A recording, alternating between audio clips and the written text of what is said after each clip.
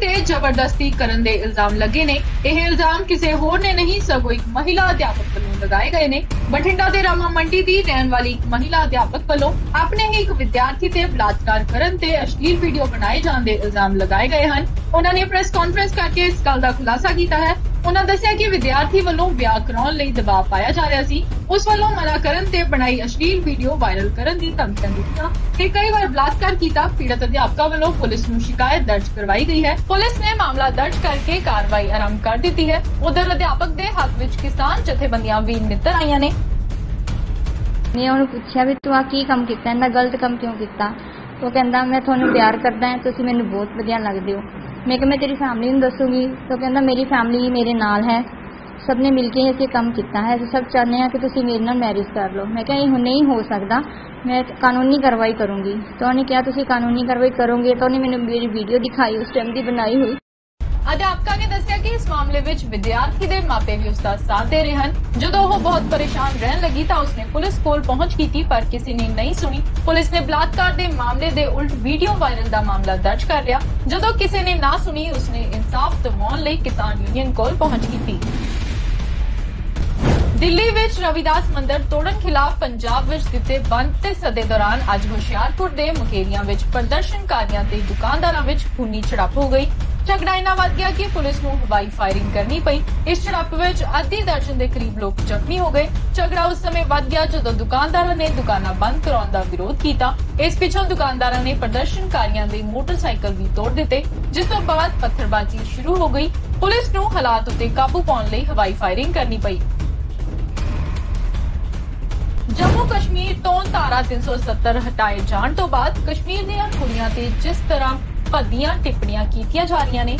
ਉਸ ਨੂੰ ਲੈ ਕੇ ਕਸ਼ਮੀਰੀ ਧੀਆਂ ਦੇ ਮਾਪੇ ਕਾਫੀ ਪਰੇਸ਼ਾਨ ਨੇ। ਇਸੇ ਲਈ ਕਸ਼ਮੀਰ ਤੋਂ ਬਾਹਰ ਰਹਿੰਦੀਆਂ ਕੁੜੀਆਂ ਘਰ ਵਾਪਸੀ ਕਰ ਰਹੀਆਂ ਨੇ ਤਾਂ ਜੋ ਕਿਸੇ ਤਰ੍ਹਾਂ ਦੀ ਅਨਹੋਣੀ ਤੋਂ ਬਚਿਆ ਜਾ ਸਕੇ। ਪਰ ਹੁਣ ਇਹਨਾਂ ਧੀਆਂ ਨੂੰ ਸਾਥ ਮਿਲ ਗਿਆ ਹੈ ਸਿੱਖਾਂ ਦਾ।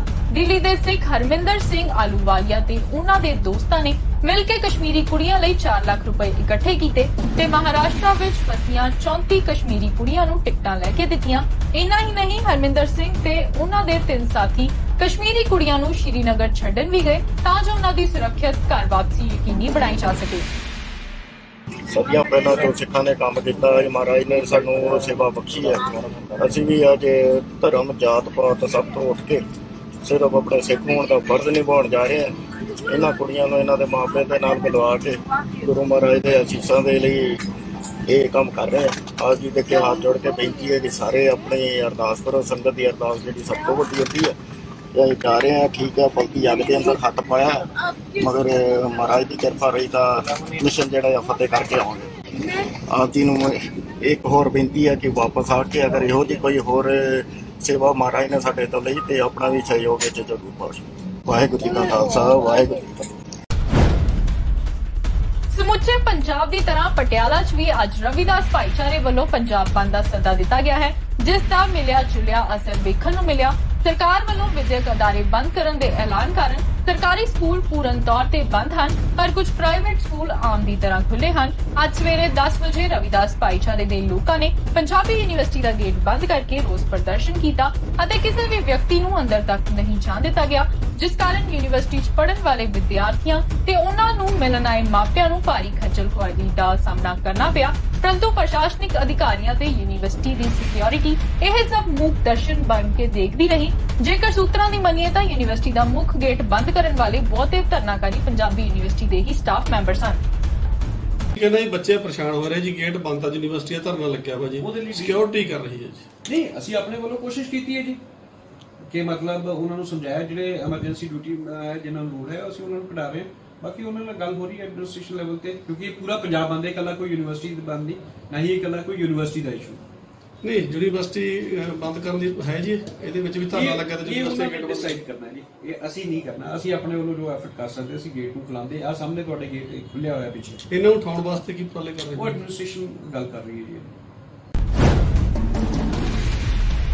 ਸੀਬੀਐਸਈ ਬੋਰਡ ਦਿੱਲੀ ਵੱਲੋਂ affiliated Mount Litera Zee School Rampura ਦੇ ਵਿਦਿਆਰਥੀਆਂ ਵੱਲੋਂ ਪੁਸ਼ਪਾ ਗੁਜਰਾਲ ਸਾਇੰਸ ਸਿਟੀ ਕਪੂਰਥਲਾ ਦਾ ਵਿਦਿਅਕ ਦੌਰਾ ਕੀਤਾ ਗਿਆ। ਇਸ ਸੰਬੰਧੀ ਸਕੂਲ ਦੇ ਪ੍ਰਧਾਨ ਗਗਨ ਬਾਂਸਲ, ਜਨਰਲ ਸਕੱਤਰ ਸ਼੍ਰੀਮਤੀ ਨਮਿਤਾ ਬਾਂਸਲ ਨੇ ਦੱਸਿਆ ਕਿ ਇਸ ਦੌਰਾਨ ਵਿਦਿਆਰਥੀਆਂ ਨੇ ਪੁਲਾੜ ਵਿਗਿਆਨ ਤੇ ਸਾਇੰਸ ਨਾਲ ਸੰਬੰਧਿਤ ਜਾਣਕਾਰੀ ਹਾਸਲ ਕੀਤੀ।